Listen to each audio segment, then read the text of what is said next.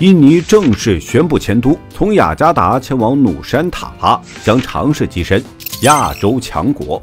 二零二四年十一月十九号，印度尼西亚议会通过一项法案，爪哇岛的雅加达将不再是首都，印尼的新首都变更为东加里曼丹省的努山塔拉。二零二五年开始搬迁。今天就让我们来了解一下，观看中不要忘记点赞关注。一，印度尼西亚的基本情况。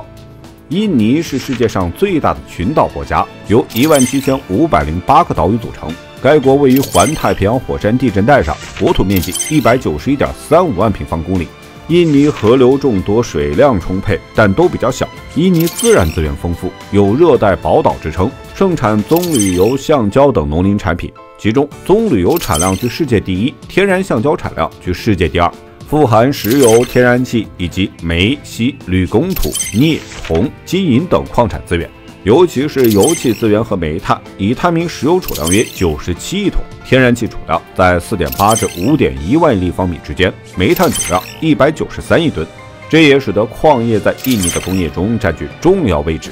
印度尼西亚是东南亚地区最大的经济体，其农业、工业、服务业均在国民经济中发挥重要作用。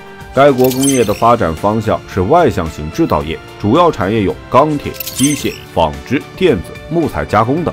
另外，它还是一个农业大国，全国约有八千万公顷的耕地面积，主要经济作物有棕榈油、橡胶、咖啡、可可。它还是世界第三大热带森林国家，森林覆盖率为百分之五十四点二五，面积可达一亿公顷。其海洋专属经济区的面积约三百一十六点六万平方公里，约有五万四千七百一十六千米的海岸线。国内的渔业资源丰富，海洋鱼类多达七千种。二零二三年的 GDP 总量约一点三七万亿美元，人均 GDP 约四千九百四十美元，通胀率为百分之三点七。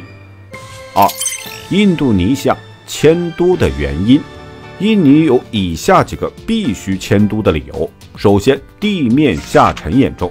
地面下沉是印尼迁都最根本且无法回避的问题。雅加达位于沿海低地，加之近些年全球气候变暖，海平面上升，雅加达正急速下沉。根据调查结果，在过去的十年中，雅加达北部沿海地区下降了二点五米，整个城市约百分之四十的地区是处于海平面以下，部分地区低于海平面四米，且以每年二十五厘米的速度继续下落。有研究显示，到二零二五年，雅加达将有百分之二十六点八六的面积被海水淹没。如果继续下沉，这座城市的百分之三十五点六一将完全沉没。专家还表示，到二零五零年，雅加达北部百分之九十五的地区将被海水淹没。雅加达急速下沉的原因之一是过度抽取地下水，当地居民因河流污染缺少水源，只能抽取地下水，导致地面下沉。其次，原因是人口分布不均匀问题。印尼全国二点七亿人口中有将近百分之六十的人口生活在雅加达所在的爪哇岛，所以雅加达具备严重的超大城市病。雅加达的市区人口超过一千万，加上周边都市圈人口超过三千万，平均每平方公里有一点五万人口。过度稠密的人口带来了交通拥堵、环境污染、水资源短缺等问题。第三个原因是雅加达自身地质条件不佳。雅加达所在的爪哇岛处于火山地震带上，岛屿上大大小小的火山不下百座，活火山有四十五座。地震火山喷发时有发生，造成严重的破坏。最后是地区发展不平衡。印尼东西范围广阔。根据印尼的经济数据显示，其经济中心在西部的爪哇岛，比如爪哇岛面积仅占全国的百分之六点六，但 GDP 贡献率达百分之五十七以上。东部地区发展缓慢，其中岛屿面积占比超过百分之六十，GDP 却仅占百分之十七，较为贫穷落后。新首都所在的东加里曼丹省经济发展也比较落后，GDP 占比小于百分之十。迁都至东加里曼丹省的努山塔拉可带动印尼东部地区发展，形成更均衡的经济格局。三，印度尼西亚将首都变更为努山塔拉。东加里曼丹省位于加里曼丹岛，与雅加达相距约两千公里，西北与北部与马来西亚的沙捞越和沙巴州相邻。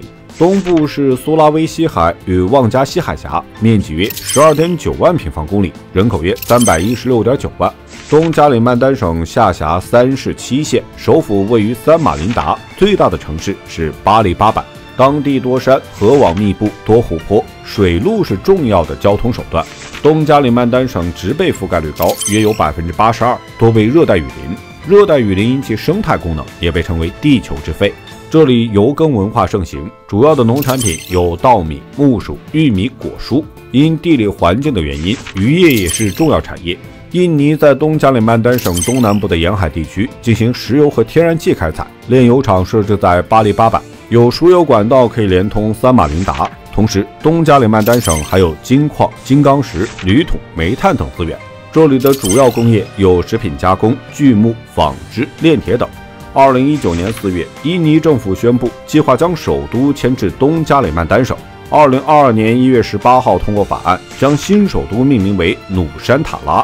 今年的十一月十九号，印尼议会通过一项法案，正式将雅加达设定为该国的特区，取消其首都地位。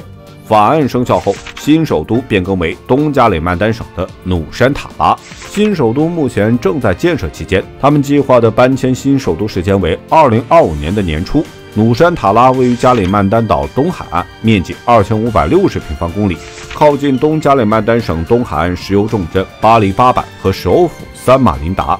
努山塔拉在地理位置上位于印尼的中心，距离雅加达约一千二百五十公里。印度尼西亚计划将努山塔拉分五阶段开发建设，完成建设时间定于二零四五年，预计耗三百二十六点八亿美元。